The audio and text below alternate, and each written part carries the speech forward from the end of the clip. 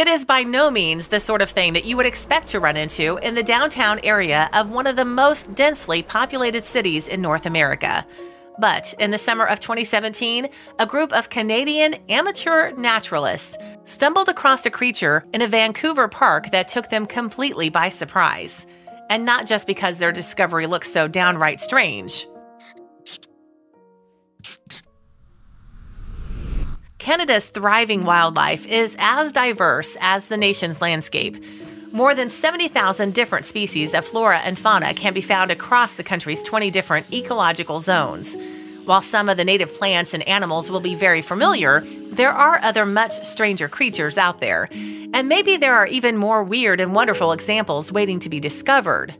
This is due to the sheer size of Canada and the sparse nature of its civilization. The country covers almost 4 million square miles and is home to some 35 million people. That means it has a population density of just little more than 10 people per square mile. To give you an idea of what that means, Canada's immediate neighbor to the south, the US, has a population density in excess of 90 people per square mile. As a consequence of Canada's low people to land ratio, there is an awful lot of space for critters to roam free. Although in more urbanized areas, such as Vancouver in British Columbia, where the human population density is higher, there is less space for animals. It is in places like that where humankind has had the most impact on the natural environment that there are more endangered species. Canada has 400 types of wildlife that are currently in danger of going extinct. But that does not mean that there are no amazing discoveries waiting to be found in Canada's cities. The green space of Stanley Park borders on Vancouver's downtown area. The parkland there covers more than one and a half square miles, and unlike a lot of similar spaces you will find in urban areas around the world, it was not created by an architect or team of landscapers. Instead, Stanley Park has evolved over the years alongside Vancouver itself. A lot of the area is still covered in thick forest, much as it was two centuries ago. Some of the trees there are hundreds of years old and stand around 250 feet tall. However, one of the most interesting parts of the park was constructed, and down the years it has come to be known as Lost Lagoon. The man made lake was the work of British landscape architect Thomas Mawson. Built over three years and finished in 1916, the Lost Lagoon gained its name because at low tide it sometimes disappears completely. Mawson also designed a causeway to run alongside the lake. By the 1950s, visitors to Stanley Park were able to rent boats and explore the Lost Lagoon at their leisure. However, this activity was stopped in 1973 when the lake area became a bird sanctuary. In 1995, the boathouse, which used to run the rented rowboats, was turned into a resource for naturalists. It is called the Lost Lagoon Nature House and is run by the Stanley Park Ecology Society. And it is thanks to the work of this organization that an amazing discovery was made in August of 2017. And the Lost Lagoon itself played an important part in the story as well. The not for profit Stanley Park Ecology Society was established in 1988, and its main aim is to nurture education and conservation work. It operates in collaboration with the park board in Vancouver, local government, to help connect communities and school children with their natural environment.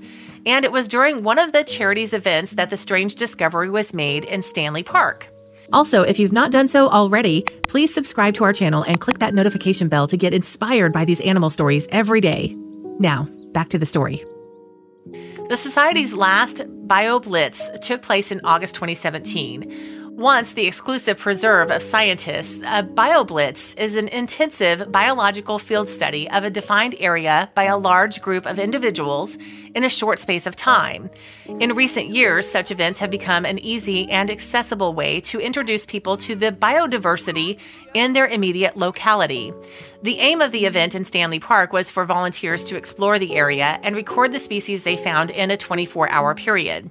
But little did they know the weirdness they would uncover. The participants in the BioBlitz came across an outlandish creature that they had never seen before in Stanley Park. In fact, there's only been one instance of the species ever being found before in British Columbia. But it is not just the rarity of the animal that makes this story so intriguing, it is also the critter's unnerving appearance. Kathleen Stormont, fundraiser and press spokesperson for the Stanley Park Ecology Society, described the creature in question to the local newspaper, the Vancouver Courier. She said the find was kind of like three day old jello, a bit firm but gelatinous. But the charity worker had another snappier description of the brain like body as well. You see, Stormont also likened the animal to a chunk of goo, and this is a vivid description that tells us a good deal about these two foot wide gelatinous blobs. Because of their amorphous appearance, it is often difficult to find them in their natural, watery habitat. But that did not stop BioBlitz volunteers from spotting one bobbing near the causeway alongside the Lost Lagoon. In fact, the creature that the BioBlitzers recorded that day isn't just one animal, it's a whole collection living together within the confines of the gelatinous goo that gives them their distinctive look. While they may collectively look like floating brains, the scientific name for the freshwater organisms is bryozoan, also known by its Latin name Pectinatella magnifica. The bryozoan at Stanley Park was spotted in a filtration pool next to the Lost Lagoon, not in the main body of the water. Bryozoan have been living on the planet for millions of years, and it's likely the one found in Vancouver would be indistinguishable from one alive hundreds of thousands of years ago. The bryozoan is a moss like animal, and its bonded mass of hundreds of different organisms sweep water for food. They then turn that nutrition into jelly like substance that binds them together. That core spreads as the colony grows. And there's a very good biological reason for the creatures to come together in such large numbers. A single small creature would be easy prey for any aquatic animal that wanted a quick snack.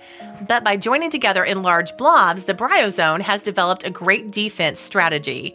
And in the filtration pond by the Lost Lagoon, one of its number had managed to find an environment that was perfect for it to thrive. Bryozoans need a very specific type of watery habitat if they want to survive. First, there has to be hardly any current in the surrounding water. Second, there needs to be a good deal of nutrients in the H2O for the bryozoan to feed on. The filtration pond, which was built only as recently as 2005 to help remove pollutants from the causeway, is basically the perfect place for the weird creatures to live and grow. However, the BioBlitz find in the pond was not just limited to a single bryozoan. Once one had been discovered, the volunteers realized the small body of water was actually teeming with the alien looking animals. While the creatures were believed to have originated in the Mississippi region, they have been known to be on the march in recent years. Despite their menacing looks, however, bryozoans do not pose a threat to humans. When the British Columbia weather got colder, with the season turning, the blobs in Stanley Park started to die off. But nature lovers in Vancouver should not fear that they are gone for good. As bryozoan colonies die, they lay eggs in the water, and these will hang around until it warms up to provide the perfect conditions for the bryozoan to rise again. So while you may not have seen the weird brain like bodies in real life this time around, if you travel to Stanley Park, it's highly likely you will get the chance in the not too distant future.